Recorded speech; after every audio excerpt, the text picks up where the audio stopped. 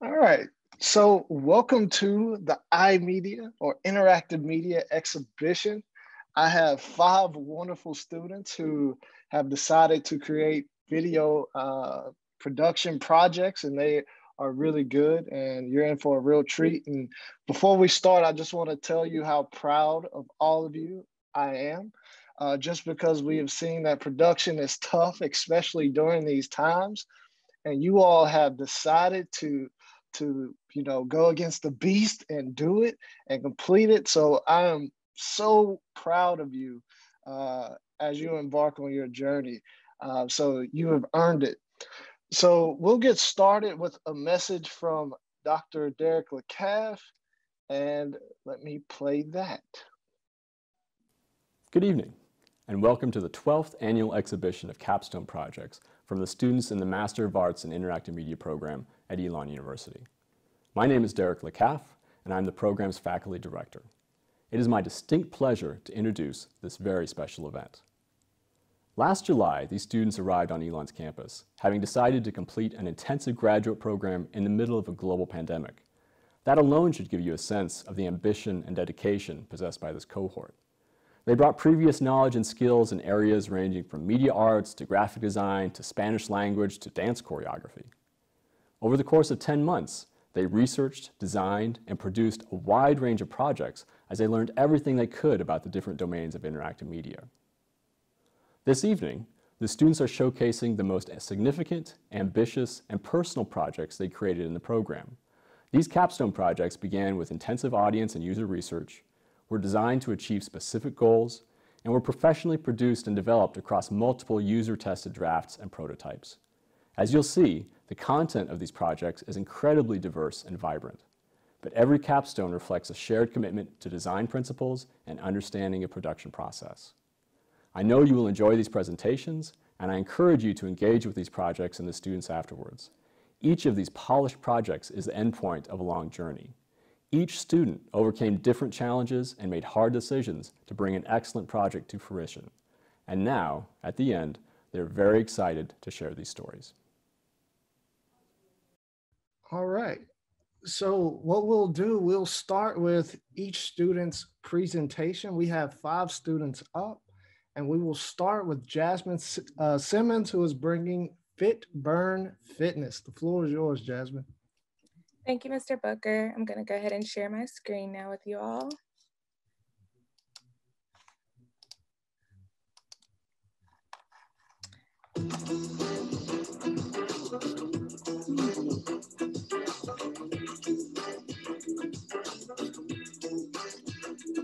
All right. Hello, everybody. My name is Jasmine Simmons, and for my capstone of 2021, I created an interactive workout video entitled Fit Burn Fitness. So today I'll be going over my proposal, the workouts, my talent and location, production, pre-production, post-production, using the Eko platform and my experience overall. So the objective of Fit Burn Fitness is to create an interactive workout video that gives you a total body workout experience without ever leaving the comfort of your home. This is one of a kind as users are allowed to pick which workout they want to do and guide their own experience. I designed this for people who are high risk of COVID-19 or they can't afford a gym membership or they're just looking for a more personal trainer experience without the personal trainer price. So here is a persona, and that is to discuss the target audience who I'm trying to reach, and also let you know some frustrations that users have experienced with other workout equipment or YouTube videos or mobile applications or things that just cost a little bit more money. Um, applications most people use are like a Nike Run app, MyFitnessPal, or also a MyZone. So the workouts were designed by a good friend of mine and personal trainer by the name of Reggie Glenn. He is the owner of Trifecta Fitness. He has over 10 years of workout experience. Um, these workouts that he created are for people of all ages and do not require any equipment. And if when done consecutively and with a balanced diet, you can get good results. So next I'm gonna take you through the target areas. So we have abs, you're given crunches and Russian twists to do. For your legs, you're given lunges and squats.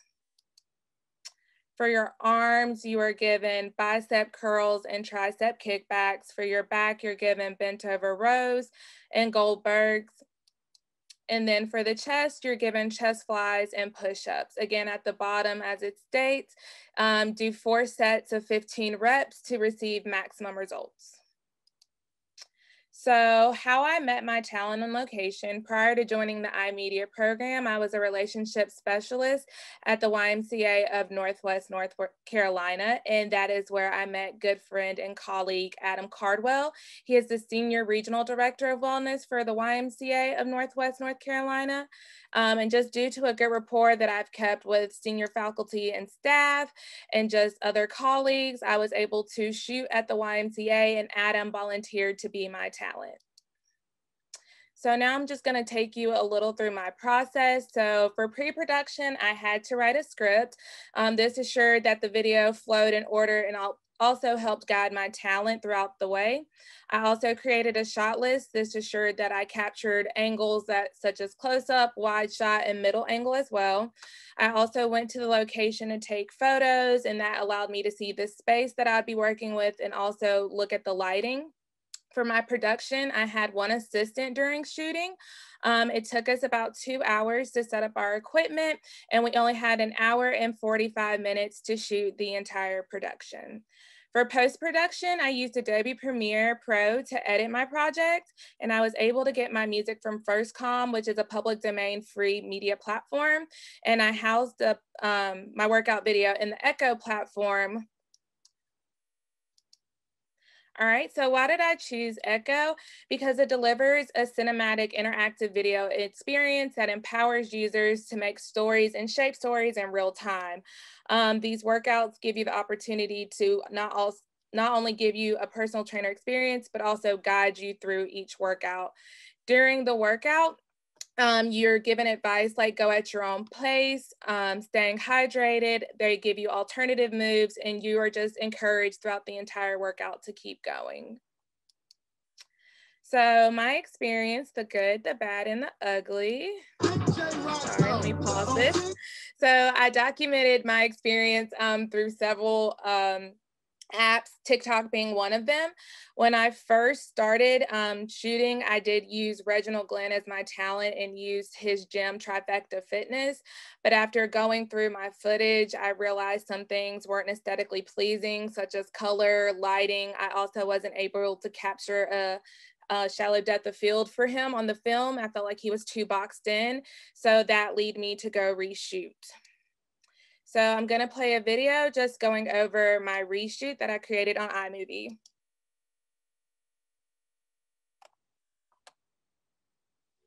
Hey guys, here is just a brief overview of my capstone reshoot. Everything went great. As you can see, there I am on set. And then within an hour and 45 minutes, we started the breakdown process. Everything went great, and needless to say, the videos turned out perfect.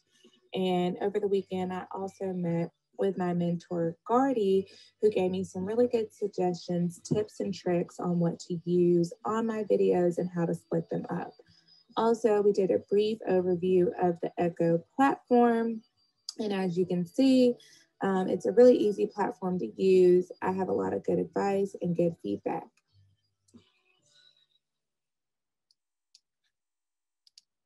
So what I learned, and just a little overview. So I learned don't be afraid to start over. Um, being that I had that footage already with Reggie, I was kind of skeptical to start the process over because I only had two weeks to find a new talent, also secure a new location. But if I was scared to start this process, then I would have never gotten my great footage that I have now for my capstone, and it wouldn't turn out as good as it did. Um, never be afraid to ask for help or advice. Um, I talked to several people within the cohort, got editing advice. I also reached out to iMedium alum who gave me some really good advice like Gardy and just kind of helped me flow through the Eko platform and just any other questions that I had. And last but not least, um, no idea is a bad idea um, because it's yours. So no matter what you think, you just have to trust yourself and trust the process and just trust your ideas and just make them come true. Um, and if you want to check out Fit Burn Fitness, it is located on the Eko platform. Um, I would advise using Firefox just because so far that is the best web browser to use um, when viewing it on Eko. And I will also drop the link in the chat. But um, thank you so much, guys, for tuning in to my capstone and check out Fit Burn Fitness. Thank you. Great. Thank you, Jasmine. Hey, great work. Great work. You ran into some hiccups, but you prevailed, and that's that's all that counts. All right. Thank so you. good job. So next we'll have Rooted Crowns by Meagan Chalmers. Thank you so much. I'm going to share my screen with you all. Okay. Good evening, everyone. I'm Meagan Chalmers, and I'll be giving you all some insight to my interactive documentary called Rooted Crowns. Rooted Crowns is a project that is near and dear to my heart because I can relate to so many of the challenges and misperceptions that the women of color that women of color face with their natural hair. This documentary allows viewers to interact with it while they are watching by taking a path through history of Black hair and through the interviews from women who have natural hair, work in corporate settings, and are hairstylists and students. Rooted Crown shows women from different employment backgrounds to show how hair discrimination affects many Black women. Not every state has laws that protect natural hair, so it's still legal to turn people away because of their hair in many states. My project has a call to action for viewers to sign the Crown Act petition. The Crown Act is a law that was created in 2019 by Dove and the Crown Coalition to ensure protection against race-based hair discrimination. This law protects hair textures and styles such as locks, twists, and knots in the work knots in the workplace and public schools. Um, when I created this, I went through three three processes, and those three processes include the pre-production stage, the production process, and the post-production. So in the pre-production process, you'll see here that I created a schedule to keep myself on task. Um, this was a little bit hard because during that time I had went through um, where I had tested positive for COVID. So I was, I had to change my schedule around a lot. And during that time, I had to start working on stuff like for post-production stuff, start working on my logo. I started rescheduling interviews because I had so many interviews lined up during that time. Um, but I had to reschedule all of those. And of course, during the pandemic, it's already hard to get uh, people to talk to and interview because of, you know, CDC guidelines and of course COVID. Um, so I ended up rescheduling half of those people back to have interviews with me. I created my logo. I sketched out a user journey map for Eko and I collected artifacts for the history portion of my project. And as you see, I have about seven interviewees here. Um, I started out with 14 before COVID, uh, before I had got COVID, and then I ended with seven, but that was still good enough because it made for a lot of content that I, that had to be edited. And I also, before I started, um, before I started, making schedules. I also created a persona. This persona, um, as you see, Janelle, she works for a, a huge Fortune 500 company. Um, she gets frustrated because of hair discrimination, seeing little Black girls on the news being turned around from school, like the one in Louisiana. Um, she was turned around because she, she had box braids in her hair, and they told her that it was very distracting at a school um, not knowing how to do or wear her hair, and just having negativity associated with her natural hair. Um, she wanted something, she was looking for a documentary or something that she can look to to share experiences with women or um, get experiences from other women and just different techniques on how to do her hair and how she can wear her hair and make it look good. And then here I have a brand guide for my interactive documentary. I started out with about three colors. I have purple and gold, which is the one I ended up with. And then I have blue and gold, and I have green and brown. Um, I wanted to go with something that stood for royalty or showed royalty. And so I ended up not doing the green and brown option just because they were a little nude and they didn't have a, a royalty feel to them. Um, and then I was going to go with blue and gold. But the only reason why I didn't choose the blue is because I did some talking to some women and they said they would feel more comfortable with the purple and gold.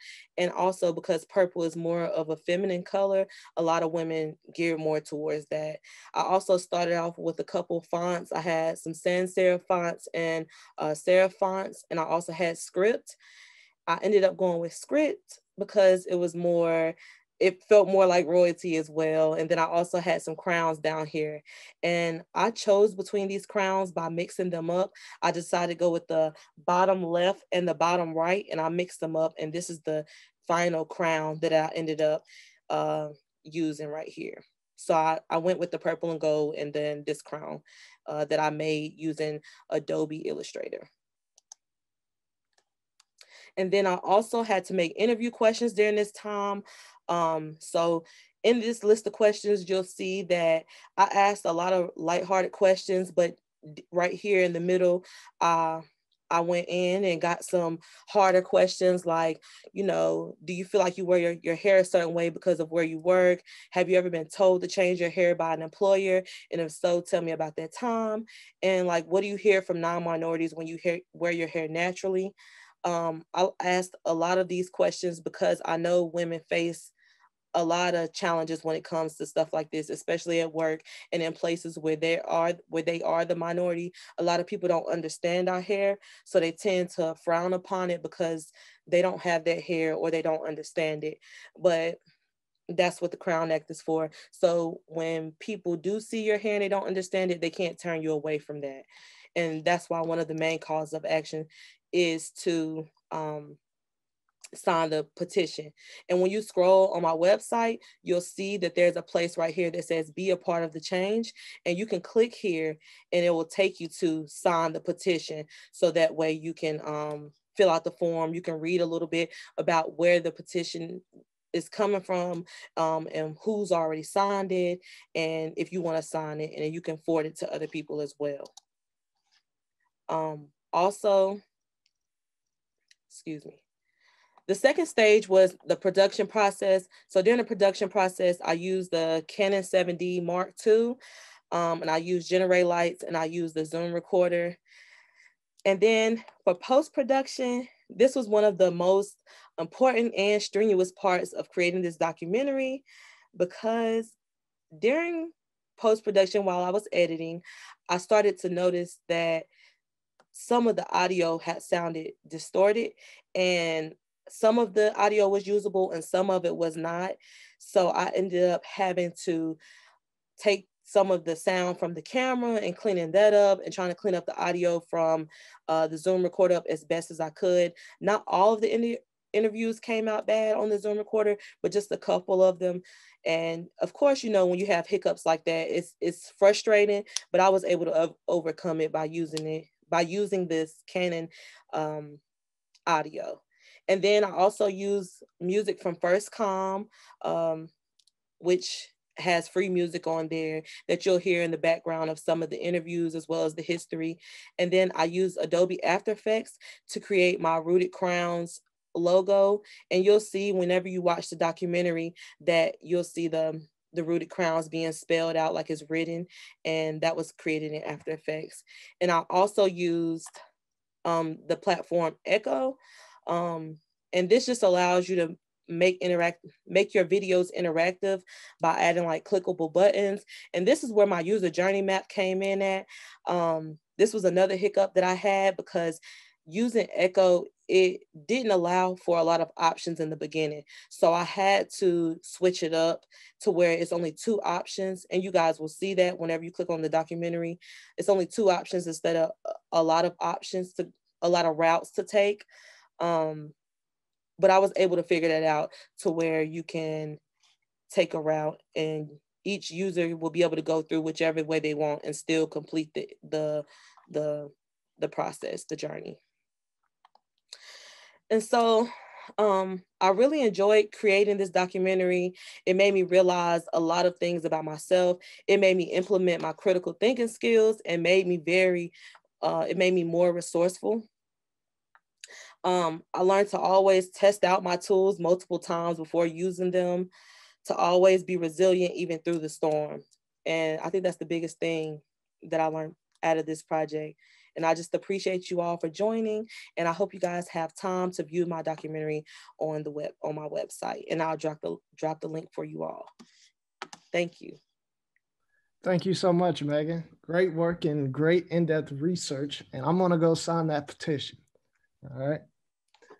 So next we have, we have Picturing Sound by Ben Winslow. Yeah, thank you, Mr. Booker. And I'll uh, share my screen now.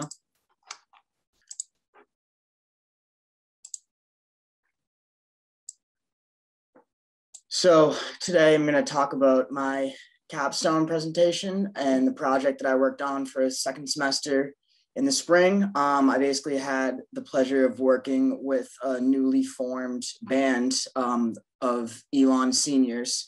Um, and I had had a relationship with one of them and um, basically our interest aligned in that I needed um, a, a, project to get passionate about and um, and unveil my skills with, and they were dying for content to be released to their fans that they'd kind of established already pre- prior to the pandemic.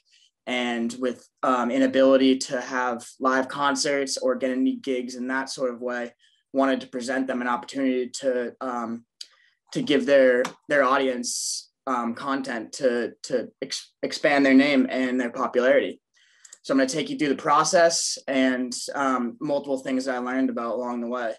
And so this is all starting back in January. Um, I had just seen them kind of practicing in the backyard, and obviously not much production value went into here. But I, I think it's cool to just see this very beginning stages of me just pointing a camera at the span at the band and kind of seeing how our talents can um, how our talents can can match with each other and maximize something beneficial for both of us. Um, and for, starting from this, uh, based upon getting confirmation from my capstone professor, um, we went got to work with starting creating creative meetings um, with me and the team. And it, we went through multiple evolutions of what exactly we're going to create, right? And um, the the project as a whole the idea was to create a um, excuse me the, the project project was to create a um, interactive virtual um, album right? And we started off thinking of doing many um, cover cover songs that people around elon and people uh, familiar with their band would really get excited about them playing. Um, and so i was going to do multiple music videos of um, cover cover songs. Um, you know, we had bi-weekly meetings with our um, capstone classes and through just um, the evolution of the process and uh, through going to more creative meetings and kind of um, setting up the project for myself, um, realized uh, significant obstacles in the way of doing uh, cover cover songs. And um, this was kind of the, the, the, start in the shift of, of my project. Um, to doing more originals that um, the band actually had produced themselves um, and then kind of giving me a way to um, use my talents to, to help them get these songs off the ground and actually create something um, brand new. And um, so you know th- there was a um, there was storyboards created for um, three different uh, songs that was um, originally tapered down to two. So the um, ambitions of the project really did kind of narrow themselves um, as I um, just shifted my focus and tried to um, implement as much as I could on those two videos. And so it was two videos that, that they had produced um, the songs for.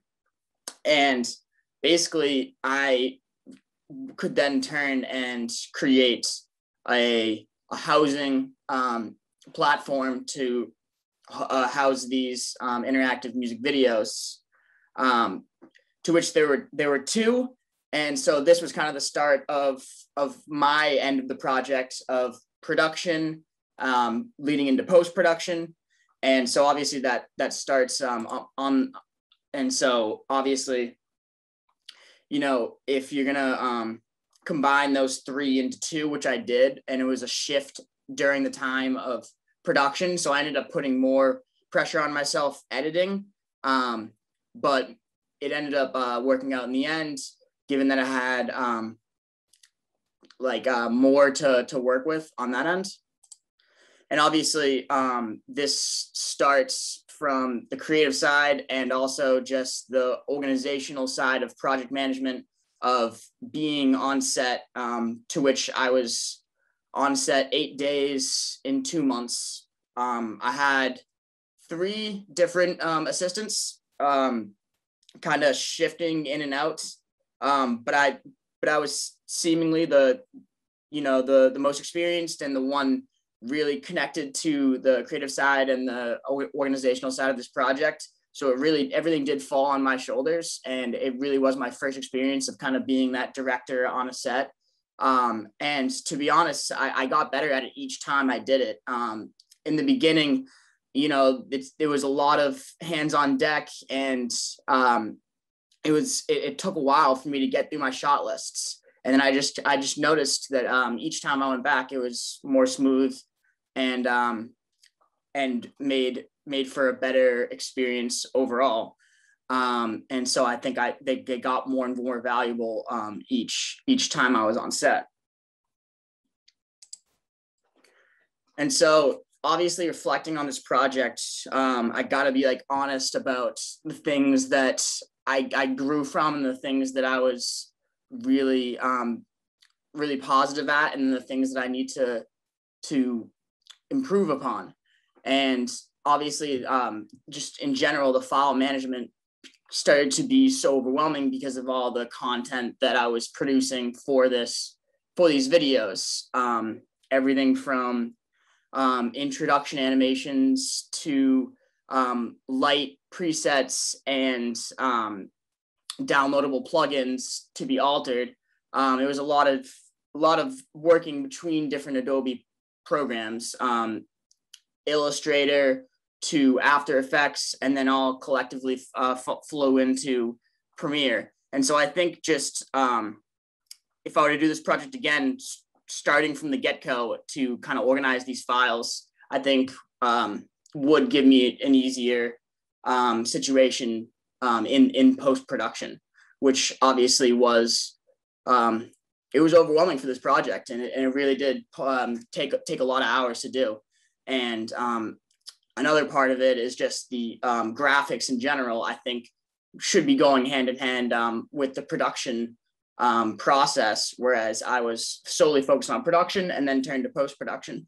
And so I think that there kind of can be a little bit of a bleed between those those, those two times, uh, depending on the scheduling in the project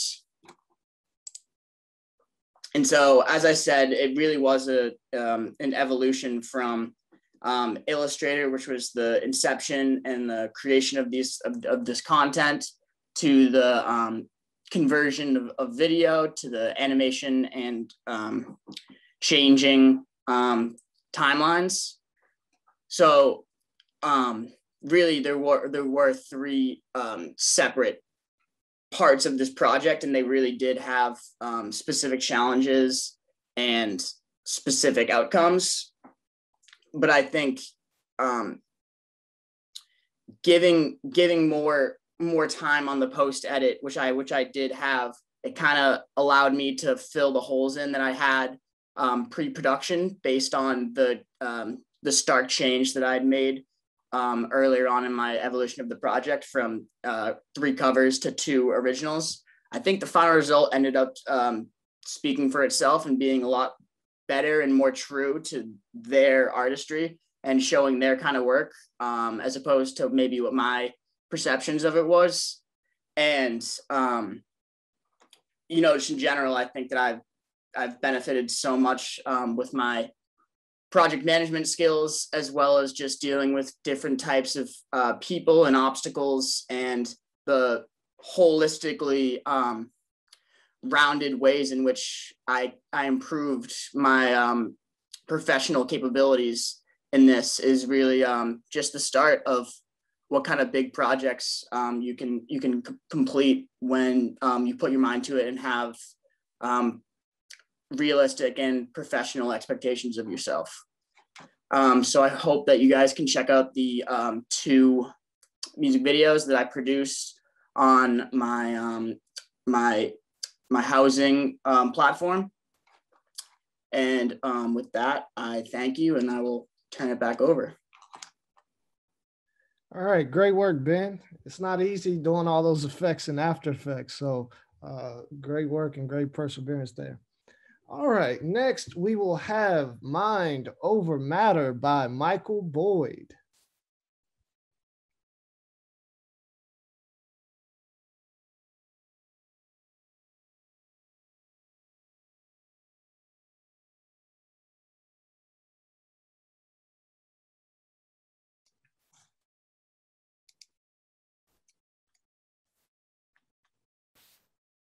All right. All right. So can everybody hear me? Okay. All right. Uh, good evening, everyone. Uh, my name is Michael Boyd, and today I will be presenting my capstone project, which is called Mind Over Matter, a Black men um, mental health documentary.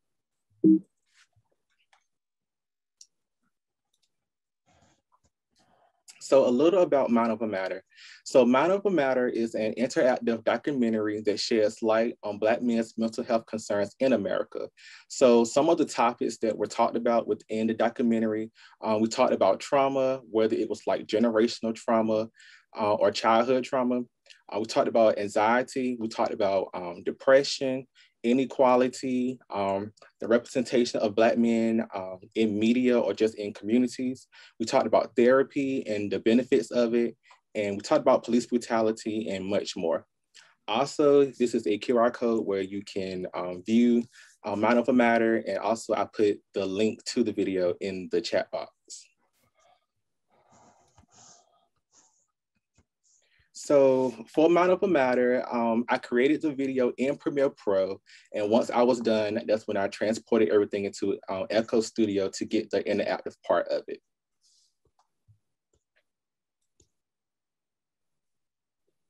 So how did I come up with Mind Over Matter? Um, so the phrase Mind Over Matter was brought to my attention by another student who was also presenting their project today. Um, she pretty much told me that she think it would be a very good fit for my film, whether it was the um, title or not. So I thought about it and I went home and I did like a deeper like research of like what does mind over matter means. And the meaning of it is pretty much when someone is able to control a condition or problem by using their mind, the ability to keep going even when tired is a simple question of mind over matter.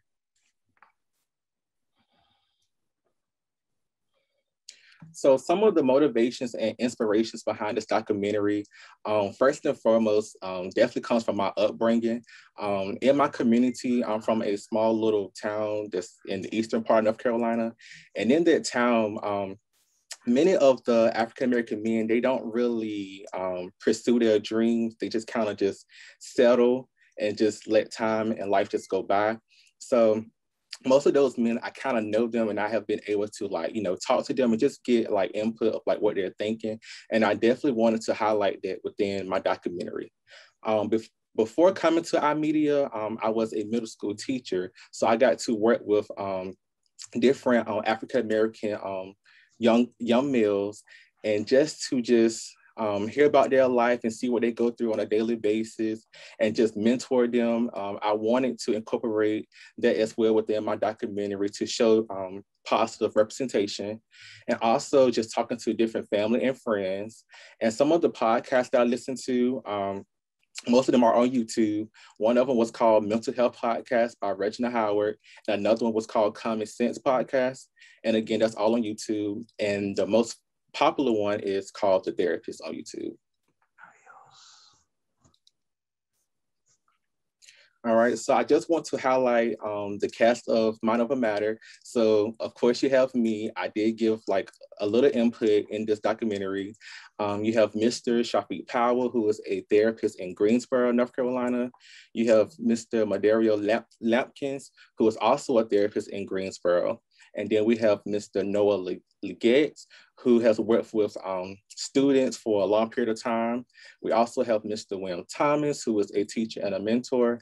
And we also have Mr. Patrick Jones, who is a community activist. All right, so my process in completing this documentary, so I broke it up into three sections. I had the pre-production section, the production section, and the post-production. And in my pre-production, I was able to just develop different ideas, plans, um, storyboarding. I started to like schedule different um, interviews. I started to get different equipment and try to figure out different locations for my B-roll. Um, once that was done, that's when I went to my production. And with production, I was able to, you know, start my filming and recording. Um, once production was done, I went to post-production and that was pretty much just editing the video, uh, working on music and audio, um, voiceovers, sounds, colors. That was pretty much the longest part All right, and some of the artifacts that I made for this documentary, um, the first one that I did was a persona to just kind of show like who would be my target audience for this um, film.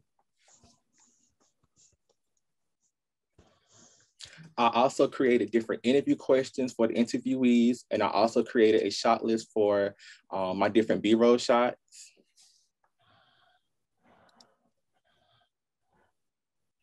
Uh, once I pretty much had went over and looked back at the um, footage I had got, um, I was able to create like a story map and kind of decide like how I wanted my story to flow.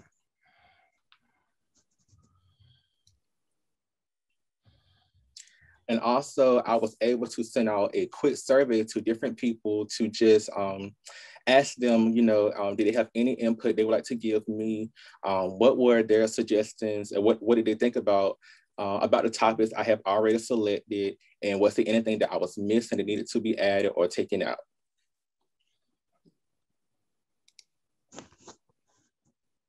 So some of the takeaways from um, doing this documentary, uh, when it comes down to production, um, always have a backup plan. Uh, I can tell you now, a lot of things went wrong. Um, a lot of things that I wanted to happen just couldn't happen due to COVID. So I just had to think quick. Um, another thing was to like overly prepare. So having those extra batteries, um, having that extra light kit, uh, you might think it, it may be too much, but honestly, it wasn't. You needed that stuff.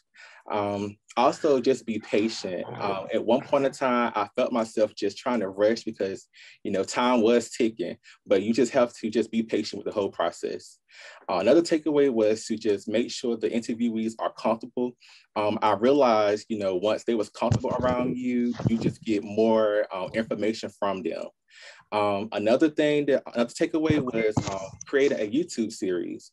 So with this documentary, it's broken up into six different parts. So it was brought to my attention, you know, just release um, one section maybe um, a week on YouTube. So I'm thinking about doing that as well.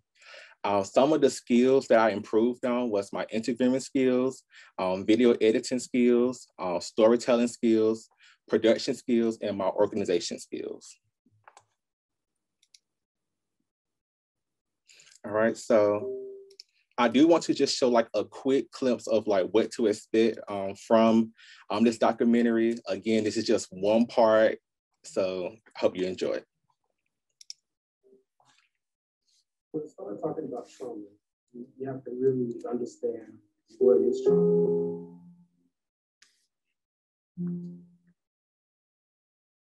So trauma can basically be defined as an emotional response or a physical response to what someone would consider a traumatic event. Honestly, like I just lost interest for everything. Like, I don't know, like my attention was just not on things that need to be on.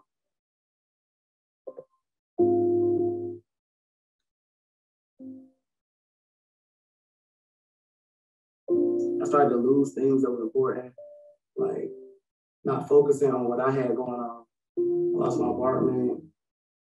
Like I just, like I said, I lost everything. You know, I lost some stuff that I put in storage. When I lost my storage after losing my apartment, so it was just like, you know, I was losing that. Again, I dropped out of school. You know, so it was just, it was really taking a toll on like everything. All right, so I don't want to waste too much time on it, but you can definitely view it on my portfolio. And also, before I end this presentation, um, I just want to let everyone know that May is the month for mental health awareness. So um, just a reminder that, well, for you or anybody that you know that you are not alone in a situation. If you need anybody to talk to, there are people out there that are waiting for you to just, you know, find them and talk to them. And also, I have provided like a different link and um, a helpline number that you can get in contact with just in case if you want to talk to somebody. All right. And you can find me on LinkedIn at Michael R. Boyd one. Um, my email is board.michael20 at gmail.com. And also you can view my portfolio at michaelrboyd1.com. And that is where you would find um, Mind Over Matter. And again, um, just thank you for watching and listening to my presentation today. All right, great work, Michael. Um, I think this is a topic that a lot of people don't talk about. So thank you for researching this and sharing it. Very powerful uh, stuff there. All right. So last but not least, we have lights, cameras, options by Dion Cummings. Appreciate that, Professor Booker. Let me share my screen real quick. Good evening, everyone. My name is Dion Cummings, and my uh, Capstone project is Lights, Camera Options, an interactive storytelling experience combining video production and immersive technology. Um, so before we get into the actual process, I want to give a bit of background information about the actual production itself. It's titled Therapeutic, which is an original series that I am writing, um, highlighting the fluidity of healing and growth. Uh, so it really ties in personally to me, to my creative philosophy, which is empathetic connectivity. I believe that empathy can be used as an engine for storytelling and is the best way to make impacts to not only the characters, but also to the audience. Uh, so prior to my pre-production phase, I actually did a little bit of audience research. Um, I created some surveys, which I shared across multiple, uh, multiple social media platforms, just to get a better understanding of what the audience wants, um, not only from their preferences standpoints with television and film, but also their interactive standpoints and what their exposure to interactive video has been. Afterwards, I conducted some user testing um, with myself and several participants using the Eko interface and uh, picking a chosen production, we all went through the interface and gave our own interactions and collected qualitative data afterwards. Um, from there, I made three different distinctions. One that I would use Eko as my interface of choice, uh, just mostly because of the simplicity of it, not just from a viewer standpoint, but also from a creative standpoint. Second would be the range of options when using Eko. Um, I found that users actually don't like having just two options because it gives them the imposition that they are making a right or wrong choice as opposed to they also don't have like having too many excessive options as it creates a little bit of confusion within the storyline. So I found three to be the perfect number. And then with the time frame of the actual videos, I found that eight to 13 minutes is most appropriate because viewers don't like to sit during long durations of time when uh, dealing with interactive videos because it gets a bit of a burnout effect. Um, afterwards, I would transition straight into the pre-production phase. Now, my original concept for my story uh, was a bit more expansive.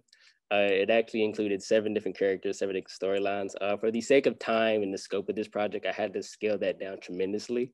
Uh, so I spent a lot of different feedback sessions, uh, a lot of brainstorming sessions, just scaling down the idea of what I actually wanted to do um, before I actually started getting into the actual script writing of the entire project. Um, to kind of aid with the character development, in, including the character bios, I actually sat down with a therapist and some social workers and got a little bit of insight between their interactions with actual clients how those actual um, interactions perceive how some of the clients' interactions and mannerisms, such as the way they speak, uh, eye language and body language and things of that nature. And from doing that, they helped me create the character bios, which I would give to my actors. And from there, I transitioned into writing storyboards to kind of help get the idea of how I kind of wanted the actual production to be perceived. Um, because I'm pretty passionate about representation in front and behind the camera, I purposely recruited an entire black cast, but also an entire black crew to help me actually produce the entire thing. Um, some of these are people from Elon, and uh, especially my lead actor, my lead actress are actually Elon students here in the Performing Arts Center. Um, and because I had a primarily uh, black cast, I actually took extra measures to make sure that whenever I shot everything, I did light testing. So I spent about six to seven days actually, and thank you again, Dr. Booker, for being a volunteer on that, with helping me figure out um, how to capture lighting appropriately for different actors and actresses across different skin tones. I think understanding the different variations of that can uh, immensely improve your production values. So I really took that to executive measures. Um, afterwards, I transitioned right into the production phase. Now, um, coming out of the pre-production, I did run into some barriers. Uh, while writing my script, my computer actually crashed. So I was uh, without a computer for roughly about 15 days. Um, to kind of get by that, I actually wrote on anything that I can find from pieces of paper, uh, using notes apps to using chalkboards and taking pictures of them just to record some of my lines. Um, so during this time frame, I kept storyboarding, I kept compiling all my notes together. Uh, so when we came back and my computer was fixed, I actually had a short amount of time to actually rush to the production process. So our actual process uh, took nine days in total. We did three days of voice recording. Um, the first two days would just be run throughs. And then the last day we do feedback sessions where we kind of listen to each other talk and then give input onto how the actual uh, shoot is going to go. So they have a better idea of coming into the actual production how they're supposed to be acting out some of those scenes. Um, then transitioning from those, we had three days of indoor shooting and then three, do- three days of outdoor shooting. Um, this would all be concluded with me going into the post-production phase, which mostly I focused on just quality checking a lot of my work, um, doing some testing within the Eko interface, and then also running some social media promotions by taking tidbits of my videos and posting them on different social media channels just to give people more aware of what the project consisted of. Uh, some additional tools that I did use throughout the process um, that definitely made my life easier can include PluralEyes. It's a tool that instantly syncs audio and video files together and allows you to export them directly into a timeline. Uh, given the fact that I didn't have a lot of time frame with uh, my post-production work, um, coming from just not having computer, I really had to think of ways to actually get, bypass this barrier. An additional tool was Artlist.io, which provided me with a lot of royalty-free music that was also incorporated and kind of getting the better feel and the tone of the video. And one in particular was ShotDeck, which I want to highlight on this page here, which is something I used to really help me understand the aesthetic of the lighting and the different editing features that I kind of want to go into, especially with the touch up. Um, so ShotDeck is a wide gallery of displays that showcases different scenes and variations from movies and TV shows, but it also breaks them down by some of the uh, proper things when going about and through the post-production process, such as the time of day, aspect ratio, composition, lighting type, and other things like that. This greatly helped me figure out the type of mood and setting that I want to get and the type of feel um, for my particular production. And then afterwards, I would incorporate everything into Eko, which you can see Eko is a pretty simplistic to use. Um, it's pretty much a drag and drop format to where you upload all of your videos on the left-hand side and then you would create the timeline here uh, and then as you just kind of drag and drop them onto the thing, you can actually see a display within the top left corner that allows you to actually play the video and get a better preview of how it's actually gonna work. Um, I do have a quick snippet I was gonna play as I conclude this for just a couple seconds. Yeah, yeah, I'm here. Good, glad to know you're here.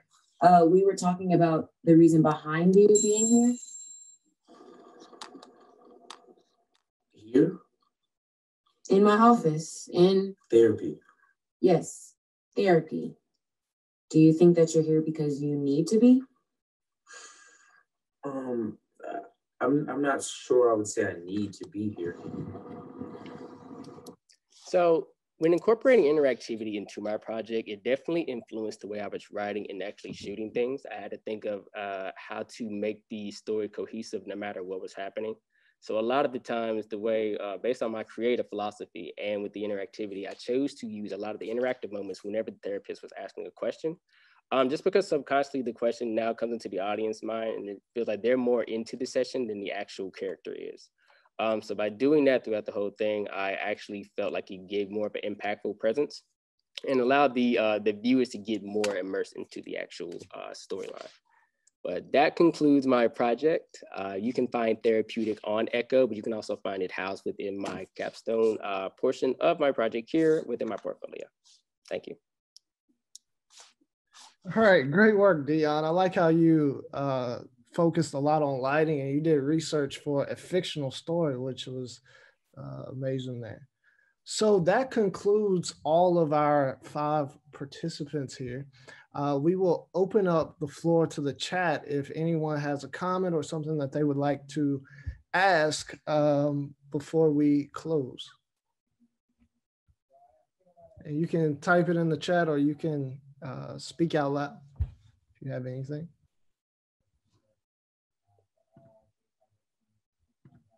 Give it a second.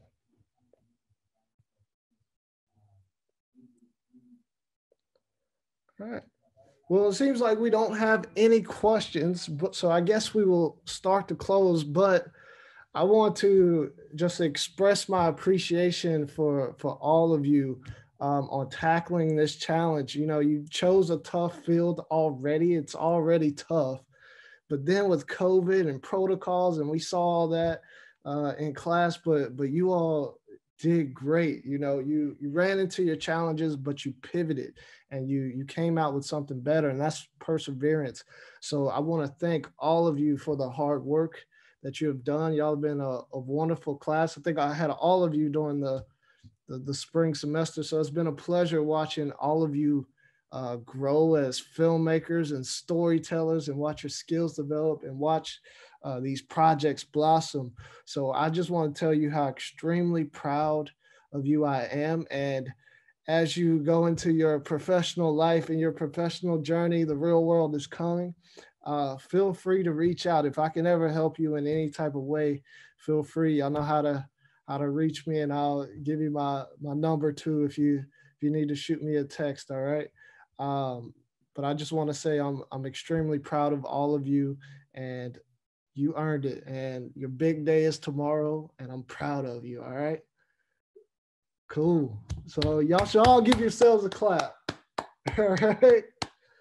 Well, that concludes uh, the video production uh, section of um, the iMedia Capstone uh, exhibition. So thank you all for coming and thank you to the participants. Y'all did an amazing job. All right.